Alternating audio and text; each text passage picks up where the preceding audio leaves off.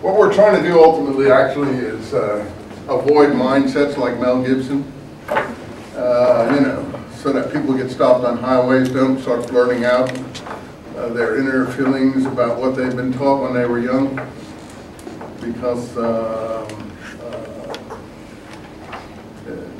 the outer self uh, can gloss it over with uh, slogans and everything else.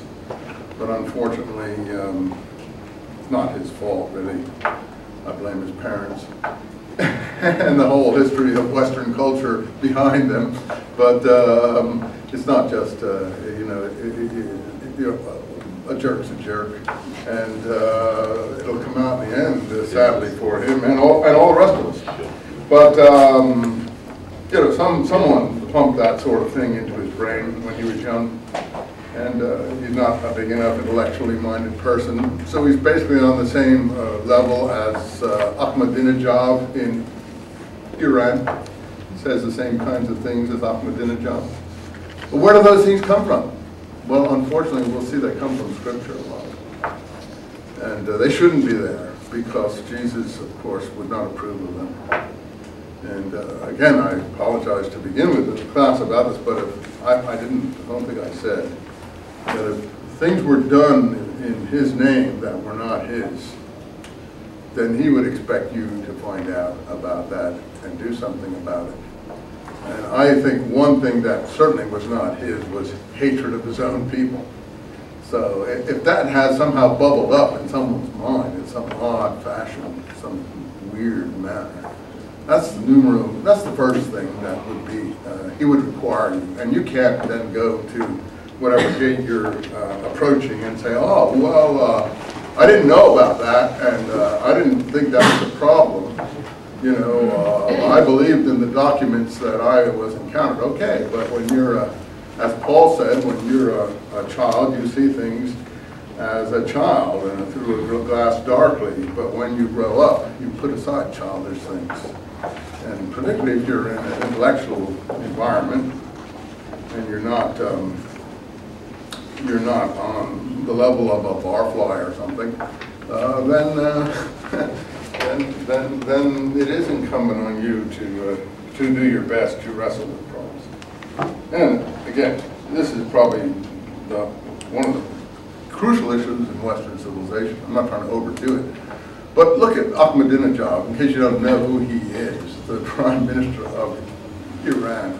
I mean, he's spouting classical classical, um, I don't want to label it with any particular name, uh, racist remarks, classical, you know, and, and you well, how come? How could it go all the way to that? Well, I teach the Quran, and I don't want to upset anyone in the room who's a Muslim, but Muhammad is a good poet, really good poet. Let's put the angel theory aside. I mean, we don't credit angels dictating things to human beings in, on a college campus. You can credit that in religious institutions, mosques, synagogues, churches, whatever.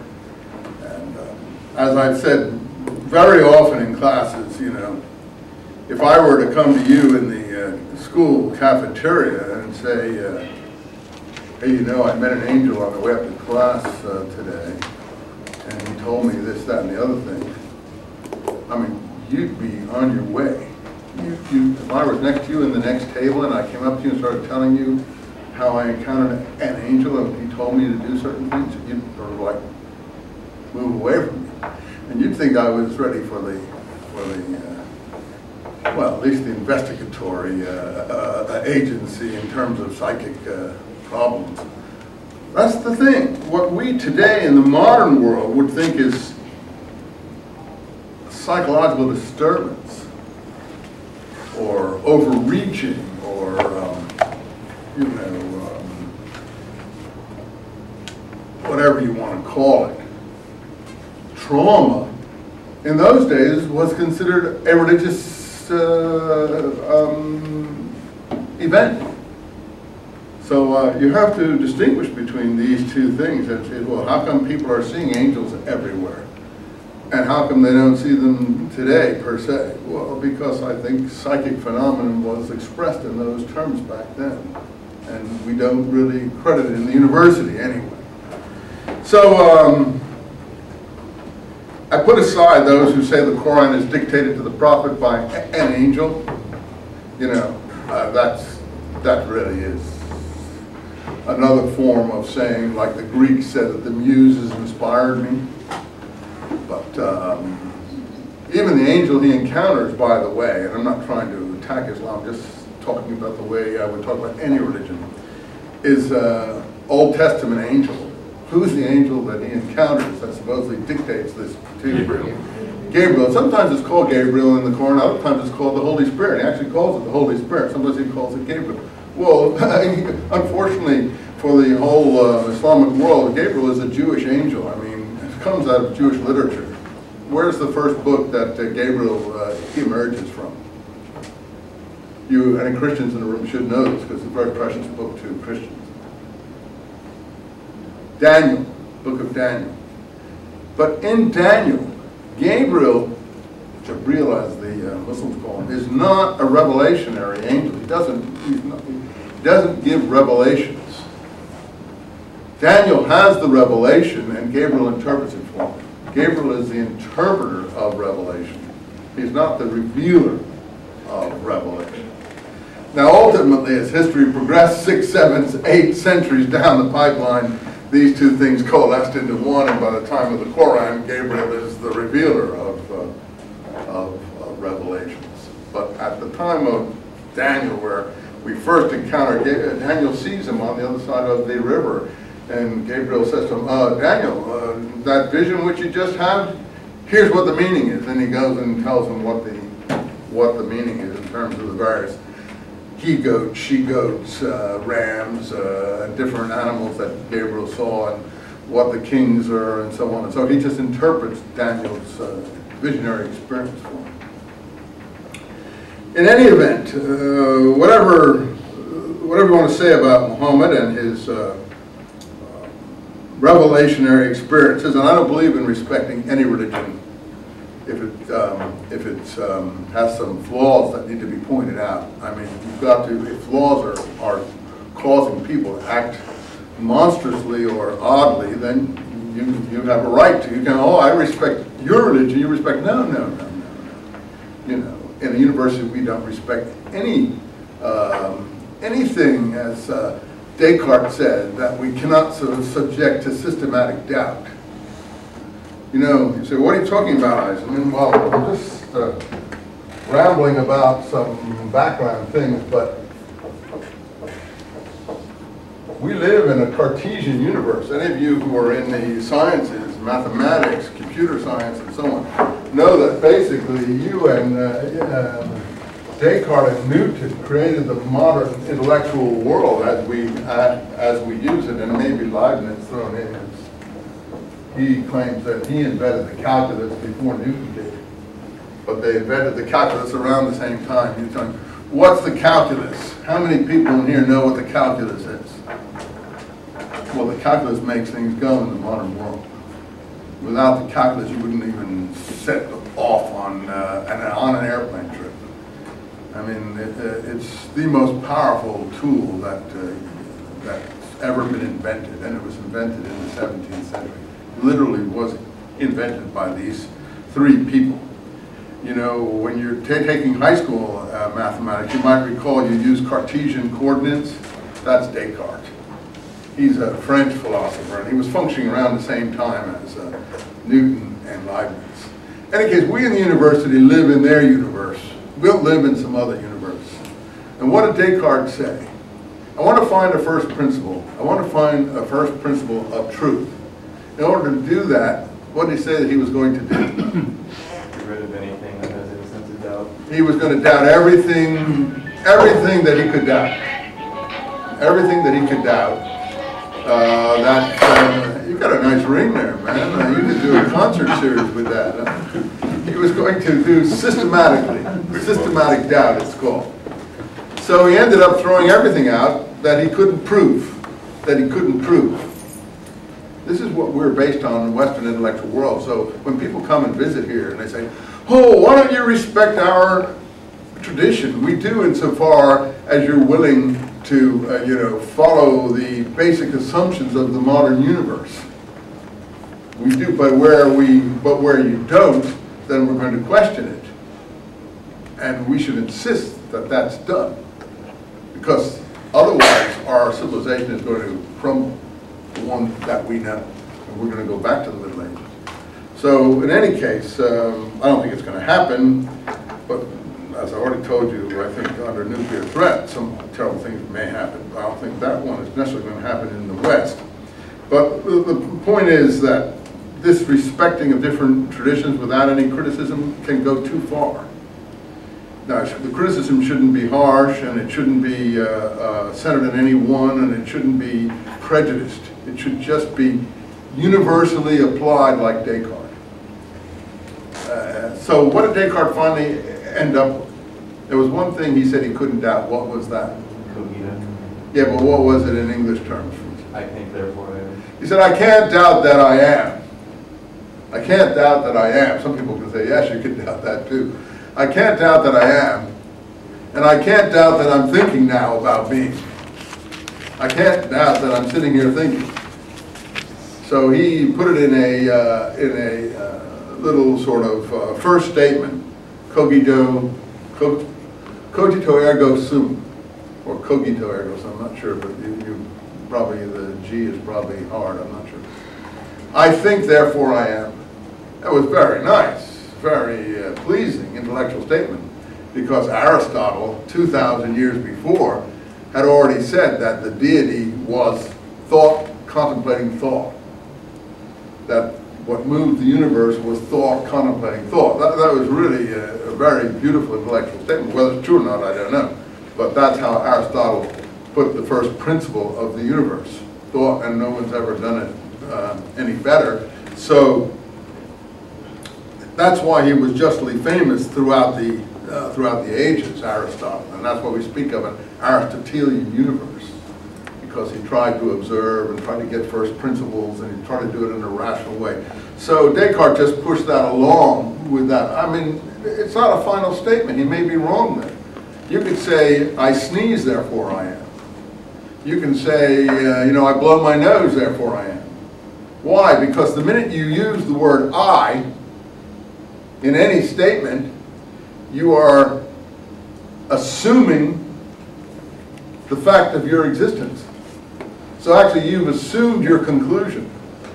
In other words, you said, I think, well, you've already, uh, you've already implied that you exist. You say that, uh, I got up this morning, therefore I am. Yeah, you've already implied that you, so um, Descartes only put it in the most elegant way possible. Anyways, that's the only thing he said he couldn't doubt, finally.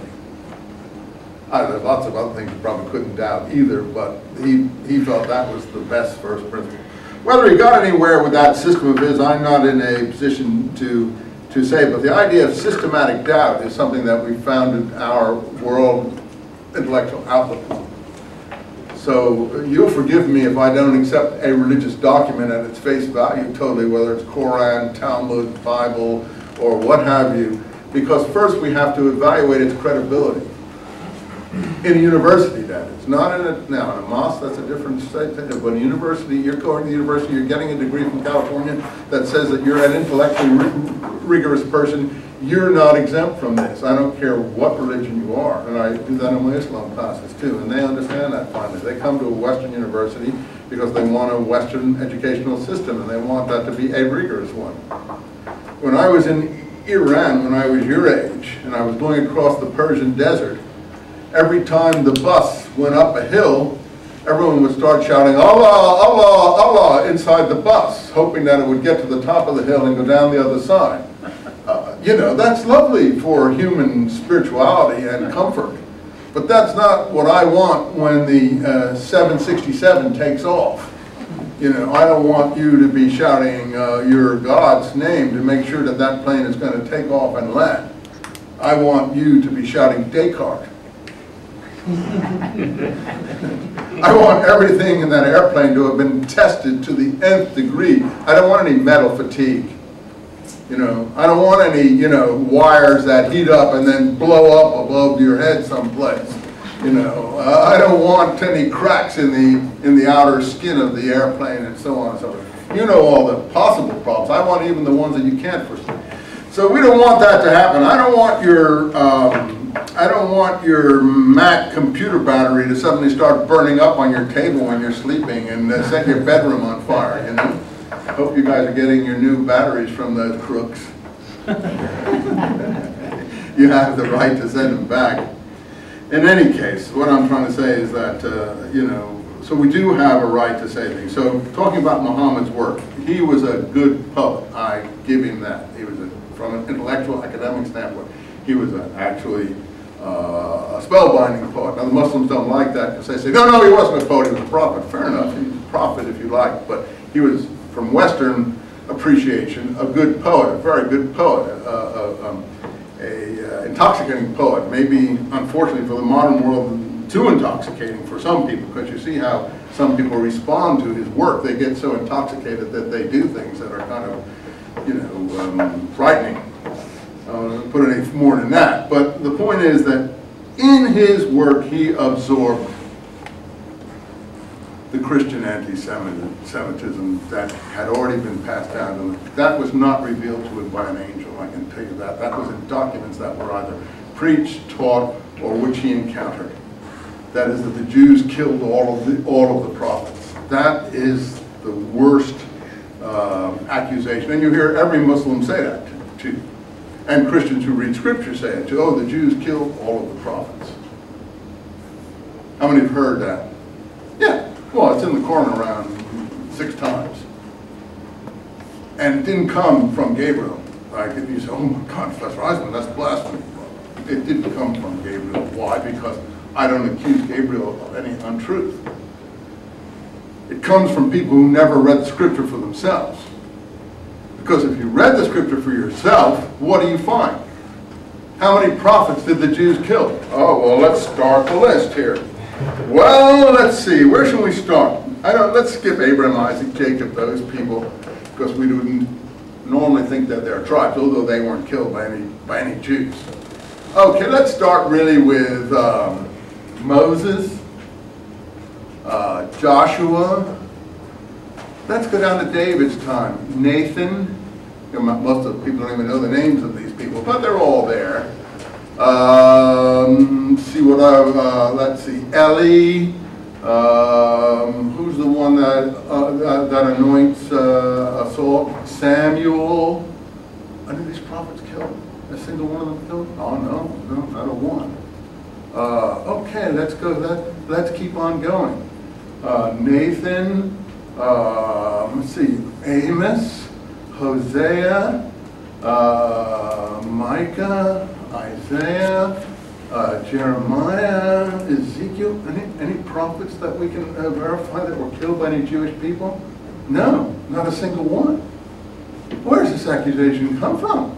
Oh, just the scripture that says, is trying to say Jesus and John the Baptist are prophets and the Jews supposedly killed them. But even in those two cases, we'll find out that the Jews didn't kill either one of them. So, I mean, it could be that they have some involvement of certain Jewish party internecine strife in some of those, uh, in some of those situations. But anyway, you just go right down the list. Only one prophet, there's, there's a rumor that Zechariah was killed, not clear, on the Temple Mount between sanctuary and altar for some reason. That, that's in the apocryphal literature. It's not in the, uh, it's not in the straight biblical literature. That's the only one. So this thing, the Jews killed all of the prophets, what is that? I'm sure if you asked Mel Gibson about that, he would say that too. It comes right out of Scripture, New Testament Scripture, moving its Greek, its Greek intellectual idea of what the, of what the uh, Jews did, and nothing whatever to do with historical reality. Even if you include John the Baptist and um, Jesus, even if you include, that's not all of the prophets, not even a, even, even, even a fraction of them. But in the John the Baptist case, so here's where intellectual rigor comes in. Did Muhammad therefore display any knowledge of these things? No, of course not. So where's he getting these um, slogans from? I know where he's getting them from. And it's not heavenly. It's not heavenly. So you say, how dare you say that, Professor Eisenman? Because I'm an intellectual academic teacher, that's why. And I follow Descartes. and I follow Newton, and I follow the rules of modern intellectual uh, uh, rigor. And, uh, and, and, and I'm never going to back off on those things, and I hope never, no one else in our uh, academic universe, not other universe, academic universe, ever is forced to back off of those things. So, um, even John the Baptist case, it is very clear that the Jews didn't kill John the Baptist. In fact, as I told you from Josephus, but I'll read it to you now that I have it with me here. I think I should read it right off to you since we're going to be talking about, and are talking about Josephus theoretically. Hope I find it here. I brought it here. I got here. I have it marked somewhere. Let's see, uh, chapter 18 of the Antiquities. please, please, please. Let's see. Here we are. Um,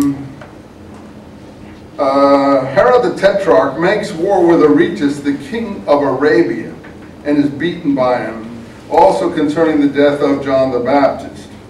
So this is the Antiquities, chapter 8, uh, book 18, chapter 5 um, talks about Aretas. You're, most people, don't- you ask Muhammad who Aretas was, he wouldn't be able to tell you.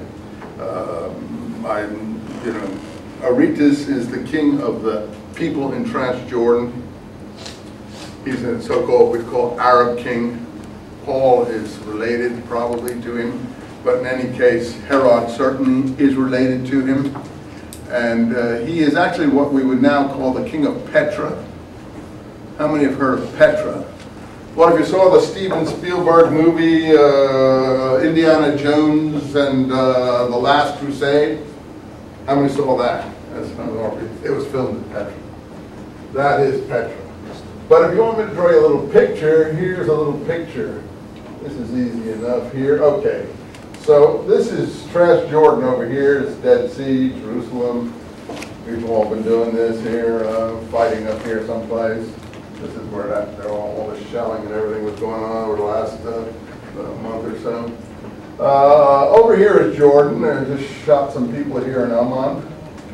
You know, Amman is uh, also in the Old Testament.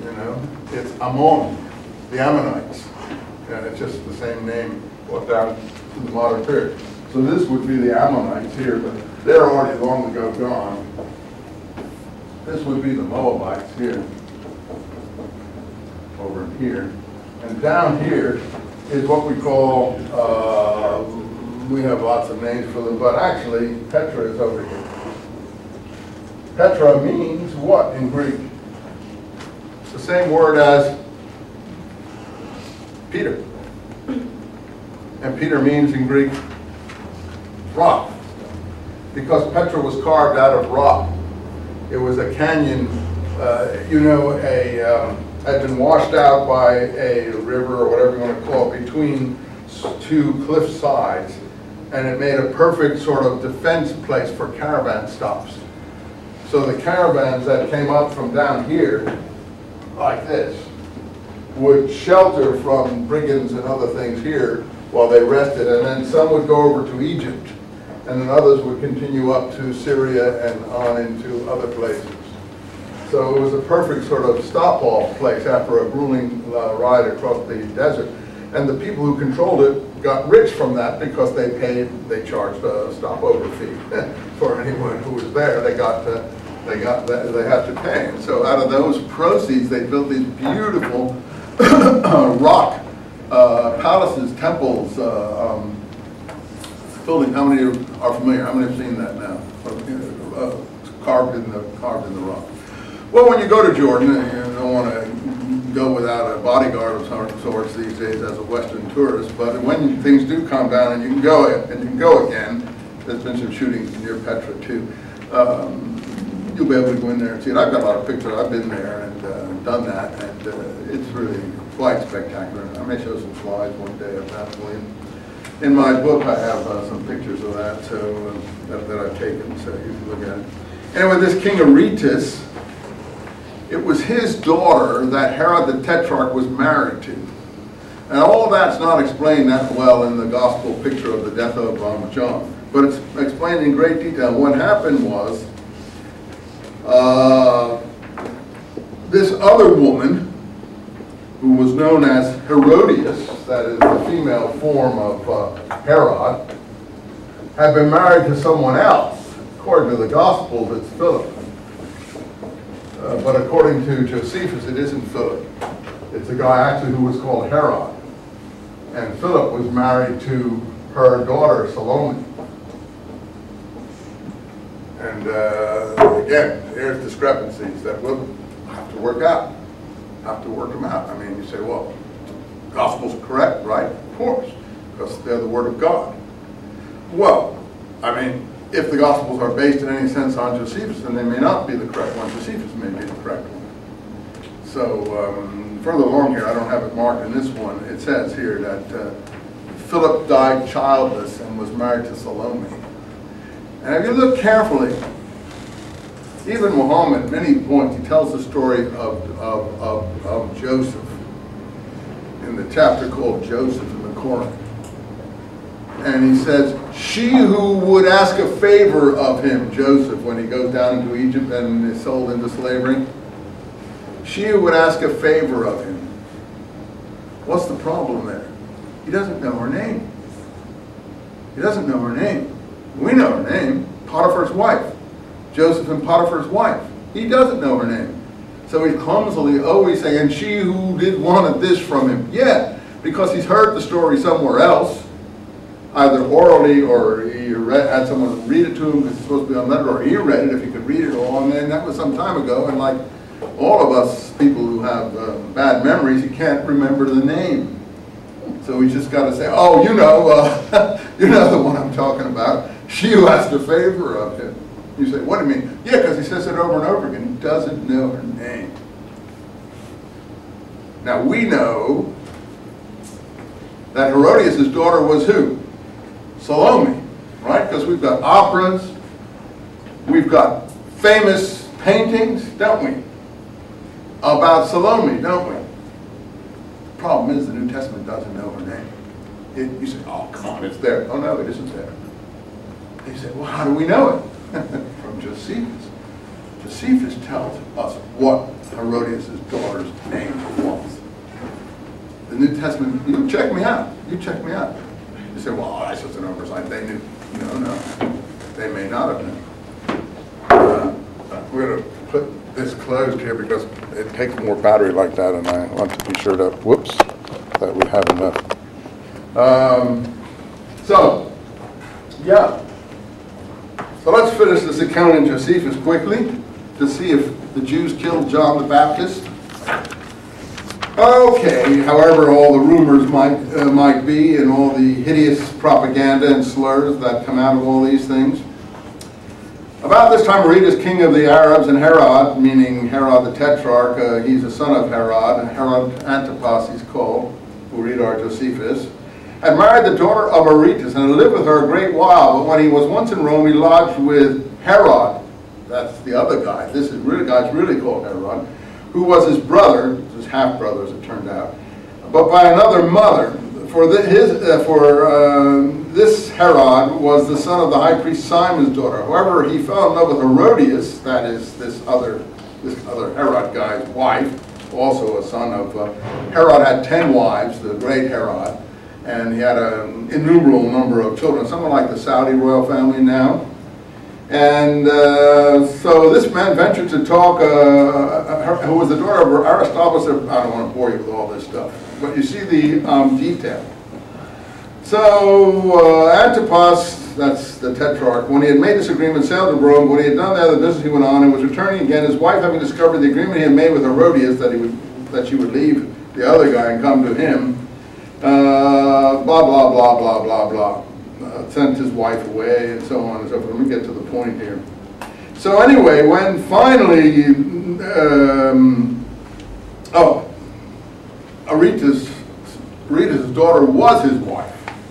So he sent her away uh, in, in, in, in um, the context of the agreement that he'd made with her to come to him and leave her other husband.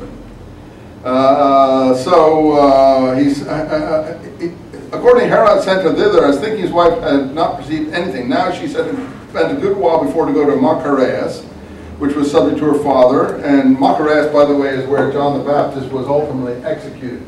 Uh, is over here. It's a, it's a fortress here. I don't know if I'm spelling it right, but something like that. It's a fortress. I have a picture of it in my books too. It's an artificial uh, hill that Herod had constructed with a palace on top. But the Maccabees had first used it, and then um, uh, uh, Herod used it as a prison for, uh, for bad people he didn't like, and then his grandsons or his sons used it also. anyway, so he sent this woman away to there. Um, blah, blah. Let's see, let's see. Uh, so Aretas made, the, made this the first occasion of his enmity between him and Herod the Tetrarch, who had also had some quarrel about other matters, geographical matters. See how detailed all this is? It's so detailed it's almost impossible to follow. But that's uh, Josephus. He's got an encyclopedic memory. So, to make a long story short, they both prepared for war, sent their generals to fight instead of themselves, and when they joined the battle, all Herod uh, the Tetrarch's army was destroyed by treachery of some fugitives, who, though they were of the tetrarchy of Philip, that's another guy, joined with Aretas' army. That's here how Philip comes into this. That's the third son of Herod. So Herod wrote about these affairs to Tiberius, who was then the emperor, who, being very angry at the attempt made by Aretas, wrote to Vitellius, the Roman commander in Syria, to make war upon him and take him alive, or bring him in bonds, or send him his head. That's where the head of John the Baptist on a platter comes from. They just moved it over to the other story. It's all in this story. It's the emperor telling the governor of Syria to send him the Arab king's head because he's angry that he's making war on one of his subjects. And here's the point about, uh, you know, in Josephus. All this has been culled by the New Testament writer, in my view, that is, and put in the form that we have it, which is the most popular form, and therefore we get the idea that the Jews killed John the Baptist. Now, some of the Jews thought that the destruction of Herod's army came from God. That Herod, the Tetrarch's army, which had been destroyed by Aretas, was from God. And this very justly. So the Jews were supporting John the Baptist, according to Josephus, not against him. As a punishment for what he did against John, known as the Baptist. For Herod slew him though he was a good man and commanded the Jews to exercise virtue both as righteousness towards each other and piety towards God, and so come to baptism, for that immersion would be acceptable to him if they made, made use of it, not in order to put away or remit sins, which is the way it's put, baptism for remission of sins is what's put, but he says it's not for remission of sins. Now you're going to have to say, well, something, something's wrong somewhere but for the purification of the body only. Supposing the soul had already thoroughly been purified beforehand by the practice of righteousness. So you purify your soul beforehand by the practice of body. So what do you do the immersion for? Bodily sins. That's in the, in the Jewish style. You know, you, you, you copulated the night before or you've come in contact with something impure. You, it's a ritual immersion process almost on a daily basis. And all these groups will practice daily daily ritual immersion, or what we would call baptism. Now, when many others came in crowds before him, they were greatly moved by hearing the words. Herod feared lest the great influence John, however the people might put it into his power and inclination to raise a rebellion, for they seemed ready to do anything he wished them to do, thought it best by putting him to death to prevent any mischief he might cause, and not bring himself into difficulties with the people by sparing a man who he might later repent when it was too late to, uh, to do so. Accordingly, he sent a prisoner out of Herod's suspicious temper to Machaerus the castle that I just mentioned, and there put him to death. Now the Jews were of the opinion that the destruction of his army was sent as a punishment upon Herod and a mark of God's displeasure to him. well, and that's from a Roman stoolie, you know, who was actually in the Roman service who is uh, who is uh, writing in order, you know, for various reasons. So here, and he usually isn't as forthcoming. So again, what can I?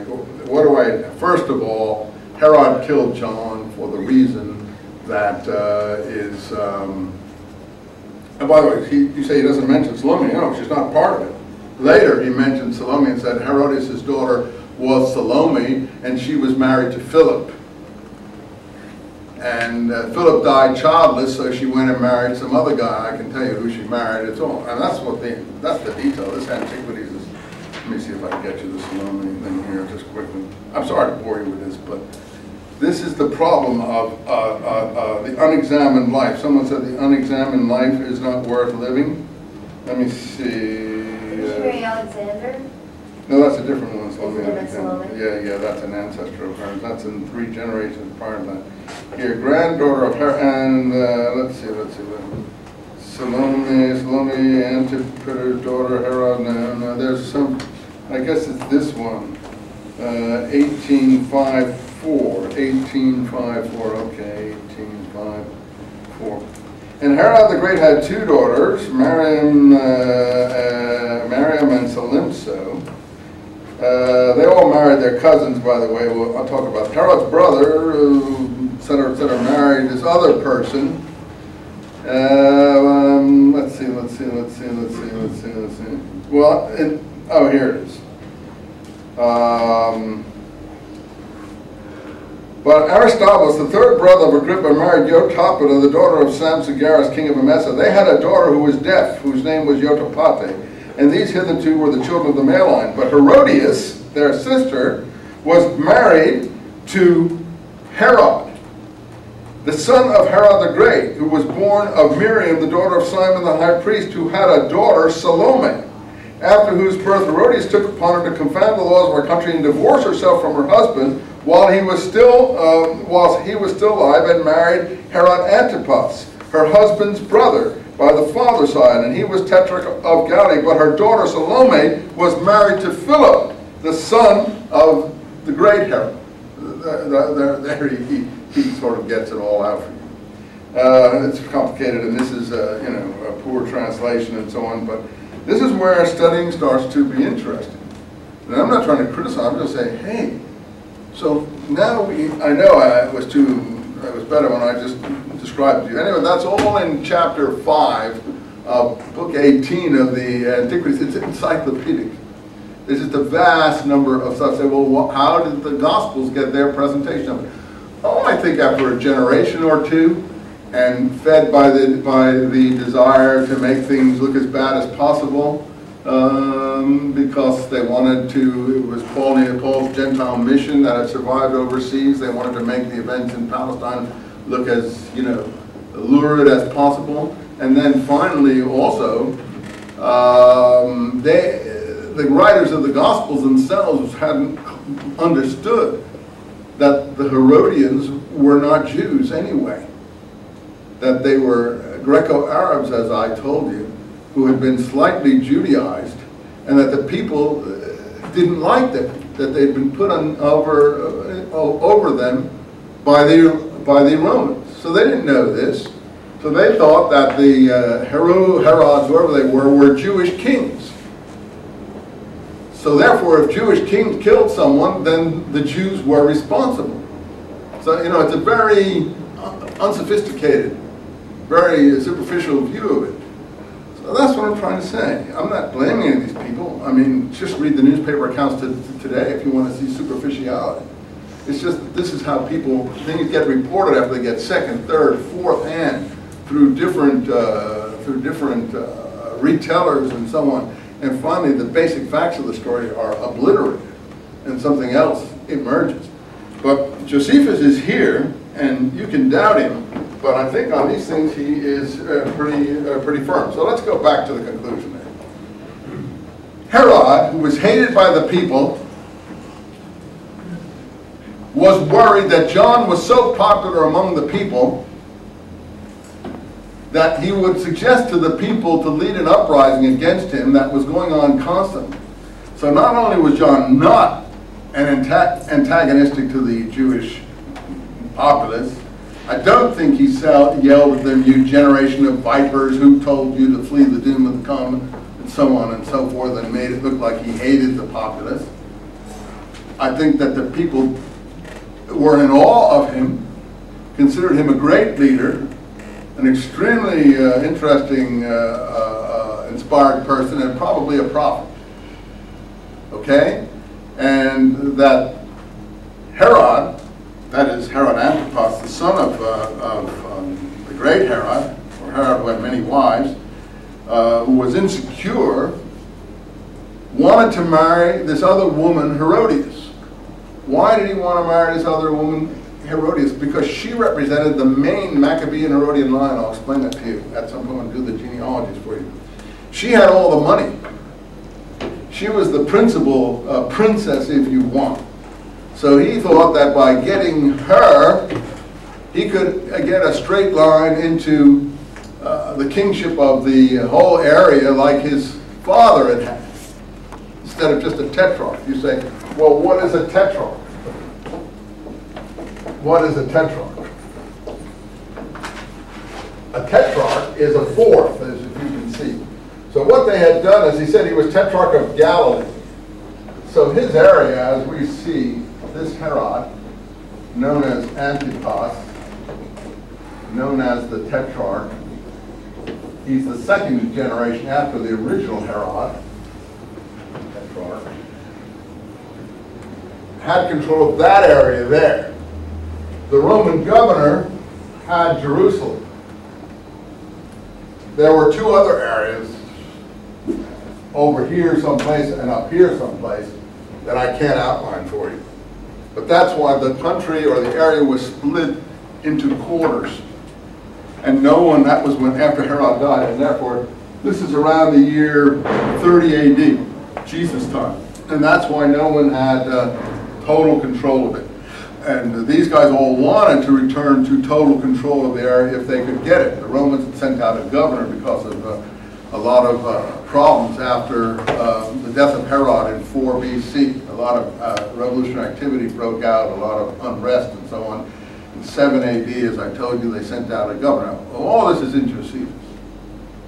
So there's two books of Josephus. I told you the Antiquities, which is more detailed, and John the Baptist not mentioned in the war. I don't think he felt comfortable, comfortable enough to mention him at that point. The war was written right after the, the war in 73. Antiquities was written 23 years later in 93 when he felt more uh, comfortable and uh, more secure because he had been involved in the war and people were probably making accusations against him and he didn't want to be as forthcoming as he later became. Any case, John is a popular leader among the Jewish populace. I'm not talking about the upper classes that were put in power by the Romans and the Roman governors and so on. Among the mass and Herod, who was an alien king in large degree, um, was afraid of um, John. But there's no dance mentioned and there's no Salome mentioned. And the beheading has to do with the, I think it has to do with the previous sentence in the description where the Roman emperor asked him to send the head of the Arab ruler who was causing all of the trouble. This becomes Salome dancing, a sexy dance, and um, uh, a head being put on a platter, and we've seen that head on a platter now for 2,000 years. We've seen that head with blood dripping out of it, and, and ooze and gore and everything. I say, well, where'd they get that? Where'd they get that? You'll have to decide. You are the one who will make the final conclusion to yourself. But I can't, I can't tell you which you want to finally hove to. But the point is, the Salome is not in the scripture. And the person who Salome is married to is the wrong, is, is the wrong person according to the um, scripture. So there is a huge contradiction that you'd have to work out. Let's go back to what started me on this, the original accusation. So, at least in the case of John the Baptist, you cannot say that the Jews killed John the Baptist. There's just no way you can say that. There's an Herodian puppet governor, uh, tetrarch of Roman uh, auspices who's put in, in power by Roman authority who is unpopular with the Jewish people who is responsible for that death totally because he's afraid of it and his behavior was terrible. But the mob is not responsible for that death. Now, that leaves only Jesus. So you've got one prophet that all these accusations are based on in Scripture and in Corinth. And for that, we hear 2,000 years later, over, over and over again, uh, Ahmadinejad and all these people like that, because it's in their holy books, yes. I have one question. then. Sure. The part where the Jews uh, in the Quran killed all of the prophets, Mhm. that, it's not in the New Testament. Where- Where they killed all the prophets, or I'll the New it to you. Testament is just John? no, and no, no, it's in Paul. Well, Paul's accusations, I'll read it to you. It's in, uh, it's in Thessalonians. And it's not in the New Testament, no. Um, For brothers, Thessalonians 2, starting uh, 14, for brothers, you've become the imitators of the churches of God in Judea. He's talking to the Greek community uh, in northern Greece, Thessalonia, which are in Christ Jesus, because you also suffered the same things from your own countrymen, even as they have done from the Jews, who both killed the Lord Jesus and their own prophets, and have persecuted us, and do not please God, and are the enemies of all mankind. That's the actual fount of almost every single bit of it. What was that, uh, Thessalonian, what was that? That's the one Thess, uh, one Thessalonians two fifteen. That's where it starts. In other words, now you say, Paul's correct, Paul's correct. We'll discuss whether Paul's correct. In due course, maybe he is. That's something that we'll have to say. But you want me to know where the, act- who killed the Lord Jesus and all their prophets. And now they are persecuting us too. Now, the point is that they are. The Jewish Christians are persecuting the Gentile Christians, not persecuting them. They want them to observe Mosaic law. And Paul and his group don't want to observe Mosaic law. And uh, so the, the, uh, the key question, and that's clear in, in um, Galatians, Paul says, you know, um, he goes on to talk about um, taking the law upon yourself, not taking the law upon yourself, the sign of the law, good or bad, circum, circumcision, with, I don't want to advocate or not advocate such a thing, but that was supposed to be the sign of the covenant. These are religious uh, symbols. And Paul says, don't circumcise to his communities in Galatians, because then you most observe the whole law, because you've taken the covenant upon yourself. And uh, so finally, the theme of, uh, of um, Galatians is uh, to circumcise or not circumcise. I can read you the, the point here, uh, which is uh, relevant here in Galatians. So why am I reading Paul first? Because Paul's letters come before the Gospels as we have them. We don't know when the Gospels were put in their final form, but we do know that Galatians was written around 50 AD. So he says here, in Galatians, starting in Galatians 3, uh, well, first of all, we have those passages in Galatians 2. You see about Paul calling Peter a hypocrite. Uh, and the whole thing has to do with circumcision there. Again, that's in, uh, that's in uh, Galatians 2. But on the contrary, Galatians 2, 7. Seeing that I was charged to the gospel to the uncircumcised, and Peter to the circumcised. For he who worked in Peter towards the apostleship of the circumcised also worked in me towards the Gentiles. So he sets himself up as a counterpart to Peter in his, as it were, Gentile mission. And when they saw the grace with which was given to me, James, Cephas, and John, see now we don't know at that point since he speaks of Peter in 8, but Cephas in 9, whether Cephas is Peter or not, but it doesn't matter, uh, we'll just leave that, assume it is. These pillars gave the right hand of friendship, of fellowship to Barnabas and myself, that we should go to the Gentiles and they uh, to the circumcision. Only asked that we should be sure to remember the poor, which I was uh, very intent on doing anyway. The poor is a name for James, it's all very complicated. The James here is not the James you're thinking of. It's not James, the brother of John, it's James, the brother of Jesus. James, the brother of John, has disappeared from the scene already. And this is James, uh, the leader of the early church, as far as we know. In any case, um, I can explain that to you another time, I already have mentioned it to you. But uh, for when Peter, the poor were the, we know, were the, uh, were the uh, followers of James' community. It's in, if Eusebius and all the early church history, these were called Ebionites, after the Hebrew word Ebion, which means poor. So James's community were called the poor, and that's why I like this, the, the Dead Sea Scrolls, because the Dead Sea Scrolls refer to themselves as the poor. And they don't mean uh, poor in, in theological doctrine, as Eusebius, 300 years later, likes to make jokes about them. They're poor because they follow a, uh, a poverty re, uh, regime. But when Peter came to Antioch, I, say, I set my face against him because he was greatly to be blamed. This is where, um, this is where uh, Augustine is writing to Jerome. For before some, some came from James, he was in the habit of keeping table fellowship with Gentiles or eating with Gentiles.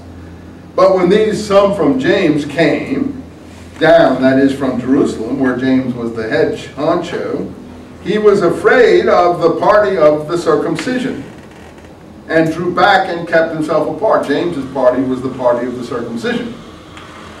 This was the leadership of the early church at this point. And the rest of the Jews, in the movement he means, also played the hypocrite with him. Hypocrisia is the Greek he uses. And even Barnabas was carried away by their hypocrisy, by their hypocrite, by their hypocrisy. So Paul is criticizing them all, particularly the Jews in the movement, and Barnabas, and Peter. But when I saw that they did not walk uprightly according to the truth of the gospel, the gospel he preached it, he said, I said to Peter in the presence of all, if you, being a Jew, live like the Gentiles and not like the Jews, why do you force the Gentiles to live like, like um, Jews? And then he goes on uh, for three or four chapters in his theological approach. In uh, chapter 3, he goes on about uh, the meaning of, uh, of, uh, of Christ's crucifixion. And then finally in 321, I'll just sum it, uh, um, this, is his, this is his view of things. It's counted in the letter of James. He says, uh, for instance, he quotes Habakkuk 2.4, the righteous shall live by his faith in, in 11. This is also in the Dead Sea Scrolls, in the Habakkuk commentary of the Dead Sea Scrolls. And he analyzes it, the letter of James analyzes it in different ways. But Paul says, Christ, in his view, redeemed us from the law's curse, meaning that the law curses certain infractions. So you don't want to be in a situation where you're under a blessing and a curse according to the book of, Deut of Deuteronomy. That's really what he's getting at here. So, you know, Christ did away with all that, and now we don't have to worry about that. So don't take it back on again. It's a powerful dialectical argument. It's dialectics. It's theology. It's rhetoric. It's rhetorical. Um, it's re it's rhetorical uh, polemics and it's very, very powerfully done, which shows Paul is very well trained in uh, um, Grecian, sophistical, and dialectical uh, rhetoric. And that's why he's so good at it. But the people he's arguing with are not trained in that way. Look at the Dead Sea Scrolls, there's nothing like that in it. And so this is very Hellenistic, but not very Palestinian. Anyway, as he goes on, why then the law? Uh, it was added because of that, uh, that uh, transgressions until the seed to the promised ones, etc., etc., etc. Is the law then against the promises of God? Oh no, let it not be. For a law, if a law had been given which is able to give life, indeed righteousness would have been by the law. So then this is the rest of chapter 3. He goes on to show that righteousness is not by the law, but by faith in um, Jesus Christ. These are his arguments that he lays out in favor of his faith doctrine in Galatians, it's also repeated to some extent in more detail in uh, Romans, uh, is a, a, very good uh, presentation of it. But he finally comes down to his attitude towards the law. Look at this. This is in chapter 4. Uh, he calls the law uh, slavery in uh, the first part of being a slave. But because you are sons of God, sent in the Spirit of God, and crying, Abba, so you are no longer a slave. Uh, but you are like a son and an heir of God through Christ. It's all very elegant argumentation. No one says the opposite, but it does show you what the arguments were. So you are no longer a slave, but a son. And if you are a son, you are an heir. But indeed, not knowing God, you were a slave to those who by nature are not gods. But now that you have known God, or rather been known by God, wordplay, uh, how can you turn again to the weak and beggarly principles, there's a play on the poor, to which you again desire to be enslaved, meaning the laws of Moses. So that's quite an insult to the law of Moses for someone who claims to be reading Old Testament scripture. He calls the law of Moses weak and beggarly principles. So he's arguing with the Jerusalem leadership, not with the Jewish people, he's arguing with the Jerusalem leadership over these issues who want circumcision to be carried out because he wants the new converts to come in under the law in order to be heirs to the promises of the law, which include the messianic promises in their view. For you carefully keep days, months, times, and year. I am afraid of you for fear that somehow I've labored in vain regarding you. So Paul has been working overseas against these things. And he calls the things, you know how Jews, well, what were they coming up now? Rosh Hashanah, Yom Kippur, Shavuot, feast days and things. He calls these poor beggarly principles. Keeping, he doesn't, he's not, he doesn't not overtly saying it. He's very, he's very careful in the way he does it. So, you know, he's very careful because he knows people are watching him, but he, it's clear what he said. Then he goes on to say, and, and, and, and you know through the weakness of the flesh, um, uh, uh, he has some weakness somewhere. And you despise me in the flesh, therefore he doesn't appear to them in the flesh. He maybe has leprosy or some other disease. It's not clear what he has. But what's your unhappiness really, writing the Galatians? What's your, what's your beef? I tell you that if possible, you would have picked, plucked out your eyes and given them to me. And I, but I have become, have I become your enemy by telling truth to you? There's a huge thing. I- Am I your enemy? In other words, reading through it, people, someone has been telling the Galatians that Paul is the enemy, that Paul is their enemy. And Paul counters that by saying, I am telling truth. Is this made me your enemy? See, the people who have been saying this, he says, "uh, they are zealous after you, but not uh, rightly so. They are zealous to exclude, uh, and uh, they desire to keep you so that you may uh, be. Uh, uh, uh, anyway, I can't give you the exact translation, it's confusing Greek, but he refers to zealousness three times. So it's quite clear that his opponents are zealots. He's playing off the words, uh, and the zealots are the party who caused the war against Rome, who are zealots for the law, and so on and so forth, who show the zeal of Elijah and Phineas as is put in the Old Testament. So this is, uh, this is what it comes down to. Then he gets into this very important uh, uh, uh, thing about uh, the law. Now tell me, you guys, who want to be under the law, 21 this is, do you not hear the law? That's in the book of, um, that's in the book of uh, Genesis. He calls that the law because the Jews called the first five books of the Torah the law. Pentateuch was called the law by them. Want to hear what's in the law? So he tells the story of Abraham and Hagar. But he tells it in his own tendentious manner to support the rhetorical arguments and polemicists and, and, and, and, and polemics he's advocating. This is how he put, uh, presents this. For it's written that Abraham had two sons, one a slave woman and one a free woman. I told you about this previously. But he that was out of the slave woman was born of the flesh. And he was out of the free woman who was born through the promise. Now this is already taking it to a spiritual, ethereal level. This is not the actual story in the Old Testament, as any of you have read it know that. Which things are allegory, he said. What I'm doing is allegorizing. He actually says that in Greek. Who's the great teacher of allegory in the ancient world? A writer called Philo of Alexandria, who was living in the previous generation to, uh, uh, to Paul. And uh, he, he does everything through, he's a Jewish writer in Alexandria, and he takes all the scripture allegorically.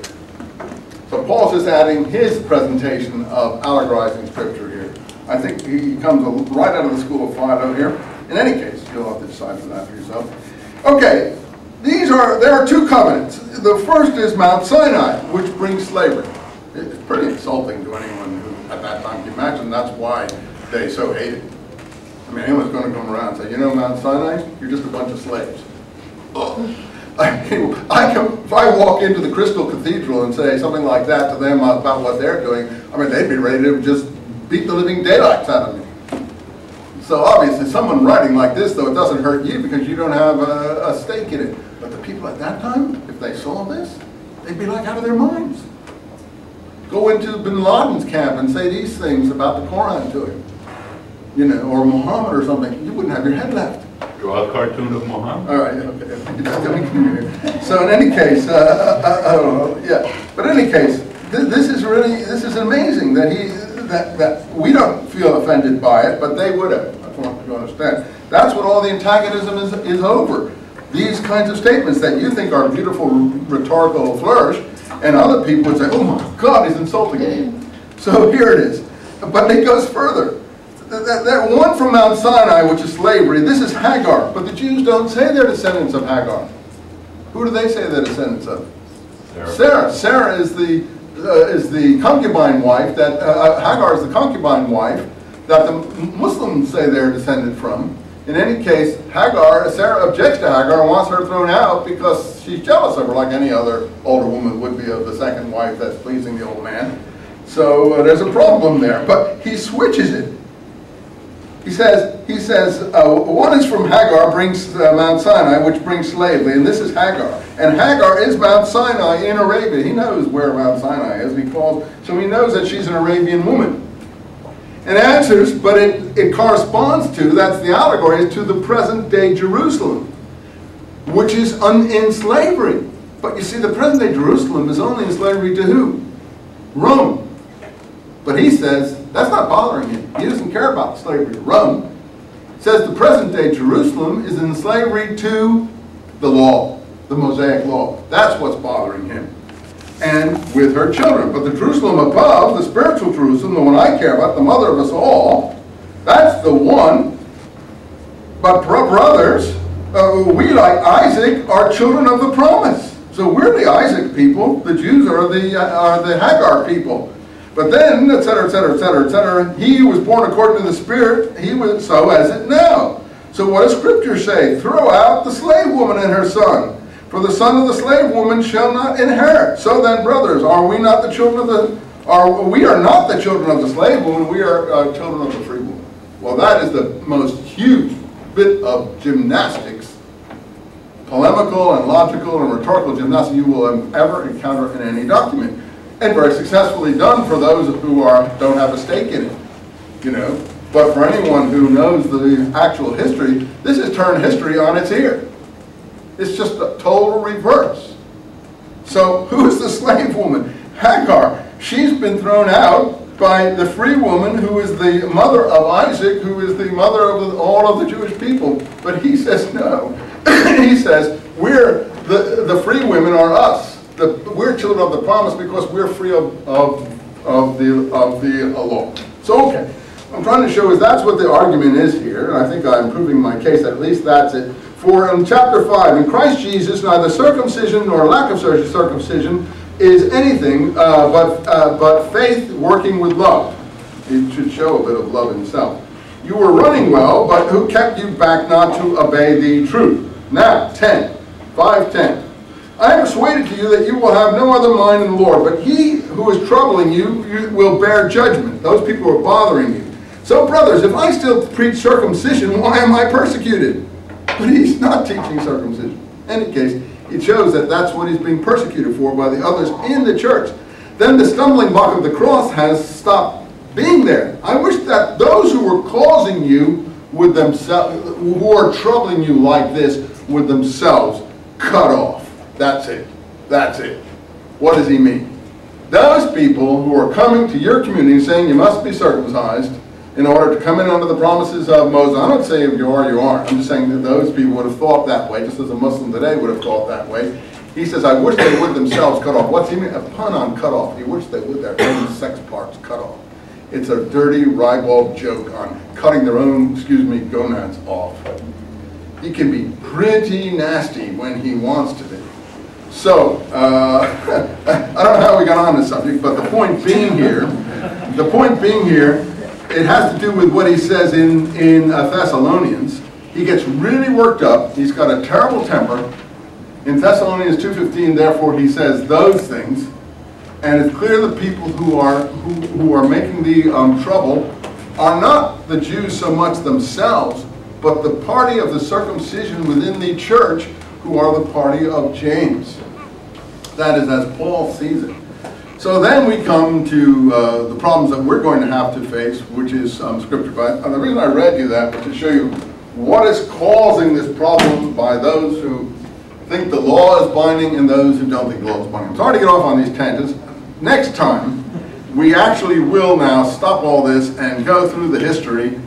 Start to bring your um, harmony of the Gospels if you have it, or your uh, uh, Greek, uh, or your Greek um, interlinear too. And if you have your Josephus, I'll finish up Josephus next time, and then we'll start on just going through the scripture itself. If you haven't read Paul, you can see he's very interesting.